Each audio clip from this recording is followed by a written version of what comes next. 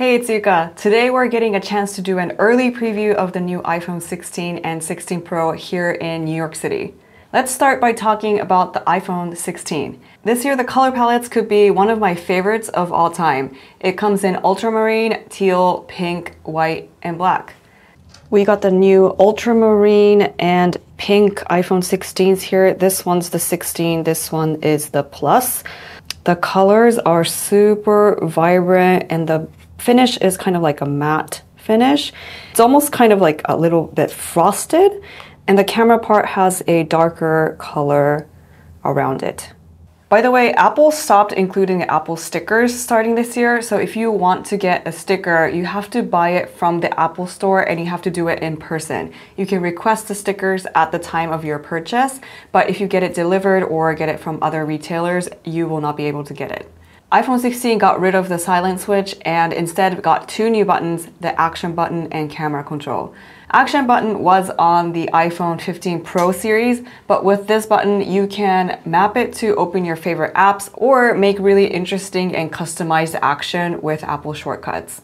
The new camera control button is literally a button that lets you control your camera. This is a physical button, but also has a force sensor with haptic feedback. You can do like a half press and sliding interactions as well as clicking. So here is how camera control works. You can click on it to bring out the camera and you can lightly press to bring out the slider.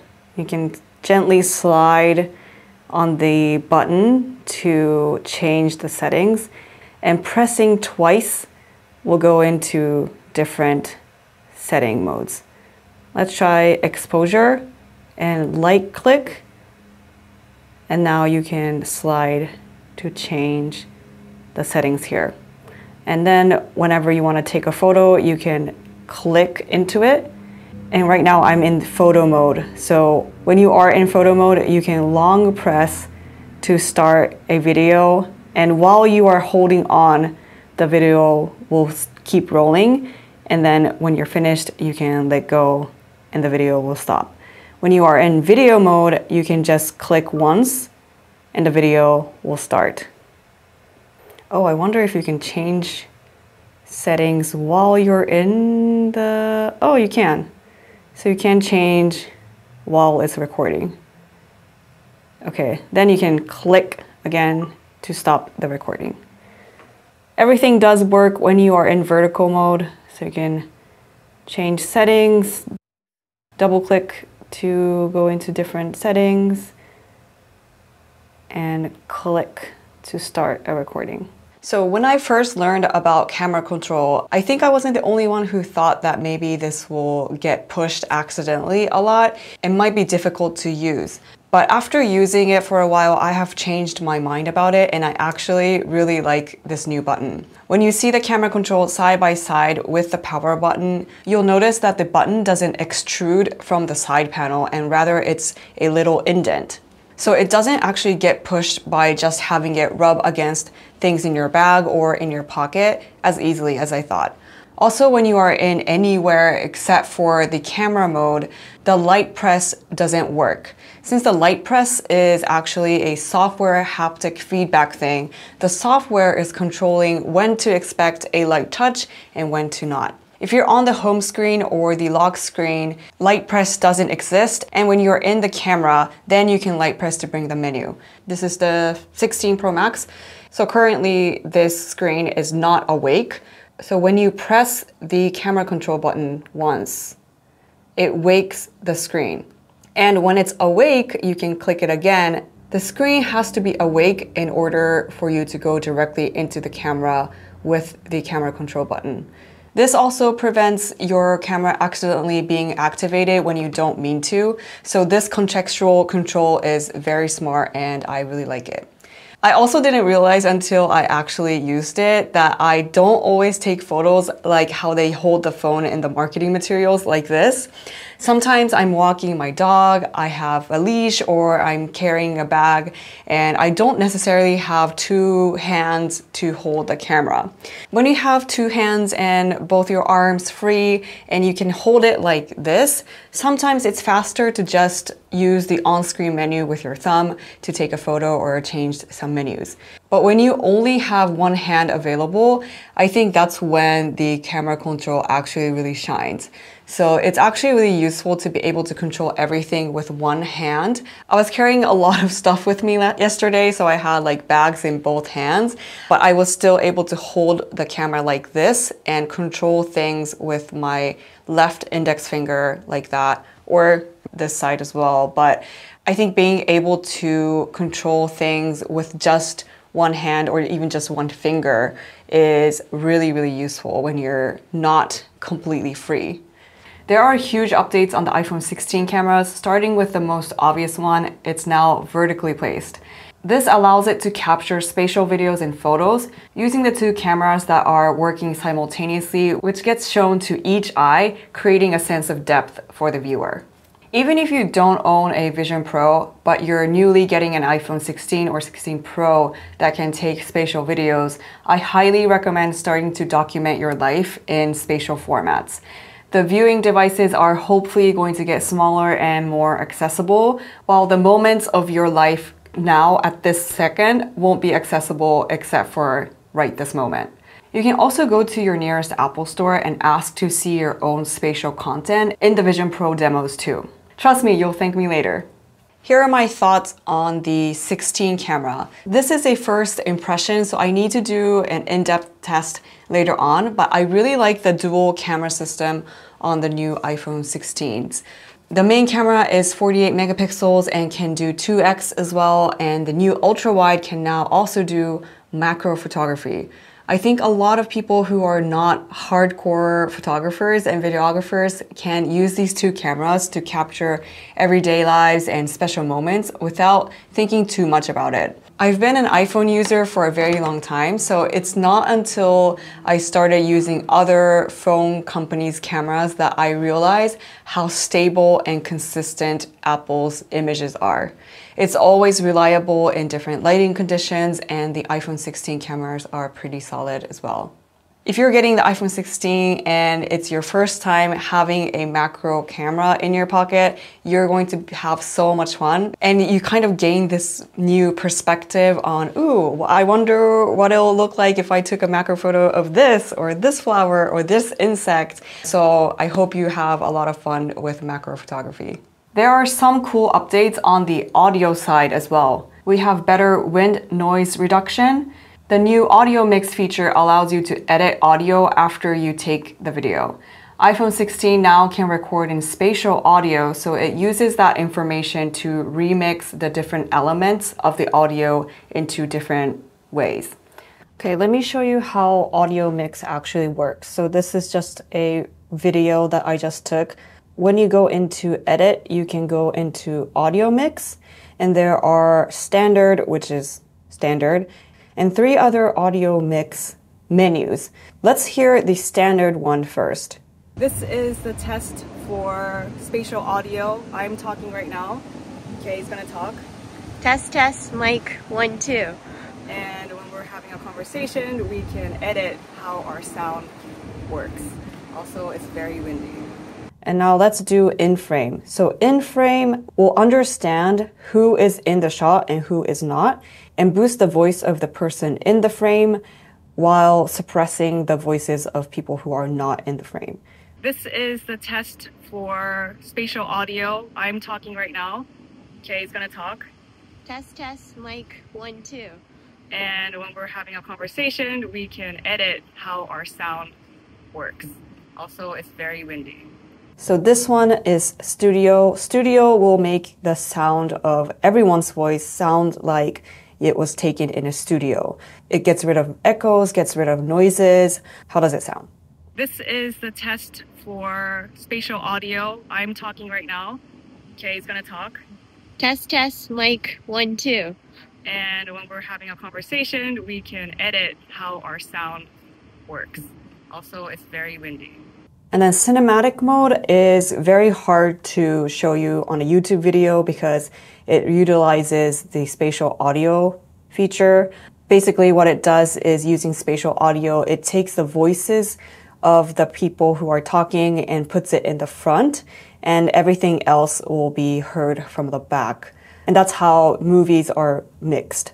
So I won't show you the example here because I don't think you'll be able to hear it on a YouTube video, but this is also an option if you are remixing for spatial audio. All the other menus are also in spatial audio, but it's just doing different things to change the volume or how things are mixed. So I think it's easier to understand in a stereo setting like what you're hearing now. Also, you can see that on the right side, there is like a little meter. So with this meter, you can change how strong the effect is going to affect the video. So let's go to in frame and what you heard before was 50. So you were able to still hear Kay's voice. But if I crank this up to 100, you will not hear anyone other than my voice. This is the test for spatial audio. I'm talking right now. Kay is going to talk. And when we're having a conversation, we can edit how our sound works. Also, it's very windy.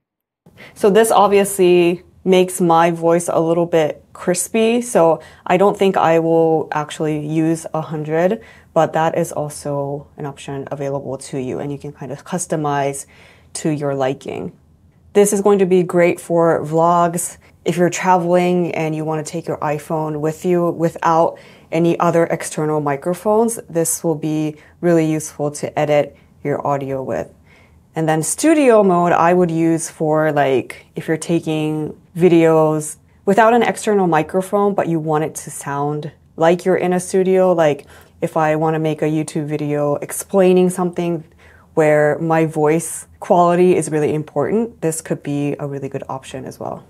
Also, just to note, this particular demo was shot on the iPhone 16 Pro Max, uh, where there is a four array Pro mic in here. The audio mix feature is also available on the 16, but the mic quality is probably better on the Pros. Moving on to the iPhone 16 Pro, the new colors this year are Desert, Natural, White, and Black Titanium. Desert Titanium looks very different from the marketing photos and is actually a pretty light color. I thought it would be a more of like a bronze color, but it's actually very pale and close to a champagne gold with maybe a little bit of a warmer tone iPhone 16 Pro is 6.3 inches and iPhone 16 Pro Max is 6.9 inch Super Retina XDR displays. The 16 Pro models have gotten bigger with the actual foam being a little bit bigger and the bezels are smaller, so the screen itself is also bigger. I have been using the Plus or the Pro Max since the bigger sizes became available. And I've always been saying that bigger is always better, but it might be the first year that I actually may think this is a little too big. I've been using the 15 Pro Max and compared to the 15 Pro Max, it is bigger in terms of both width and height. But as a creator, I do like having more screen real estate to edit shorts and fiddle with different camera settings. So I'm currently still on the verge of deciding if it is actually too big for me or not. 16 Pro series also has the new camera control button. Everything I talked about in the 16 section, the 16 Pro can do, if not better. This year, the Pro and Pro Max have the same camera system. The main camera is a 48 megapixel wide and the word fusion has been attached to it as well. I also need to do a deeper dive on the iPhone 16 Pro cameras, but this time I focused a little bit more on the photography side and we'll continue to test it out for video in the coming weeks. I do like that we got a 48 megapixel ultra wide this year. The Fusion cameras, which fuses more information and the results seem like it's bringing up the shadows even more. If you are a pro or prosumer who would actually care about preserving shadows, the new photographic styles is pretty nice. When you swipe to the right side, there are creative styles called mood. And on the left side, there are undertones, which are more for controlling skin undertones to your liking. With photographic styles, you can change the style and use the control pad to change the tone and color. And some of the styles have a palette that you can change as well. These are kind of fun to mess with, but if you are looking for something like the Fuji recipes or LUTs here, this might not really be it. You are going to be playing within the confines of the preset styles, but I do have a feeling people might start sharing recipes on social media when the phones start being available to everyone. I've been playing with it and I may have found like my current favorite, so I'll put a screenshot here. But if you put enough time and effort into finding your style, this could be really, really fun. I hope I can do more tests here to fine tune and find the settings that I like. So for quick photos to post on social media, I don't have to go into Lightroom to make little color tweaks. iPhone 16 Pro can now take 4K 120 FPS Dolby Vision and ProRes if recorded to an external SSD. Let me show you how 4K 120 works on the iPhone 16 Pro. This was shot in HDR in 16 Pro without any external hardware. Let's go into edit mode. And here you can change the playback speed from 100% to 50, 25, and 20%. Let's play it back in 100% really quickly. So this is what it looks like in 120 frames per second. Let's bump it down to 50. So this is essentially 60 frame per second. Here's 25. It's getting very dramatic here. And now down to 20%.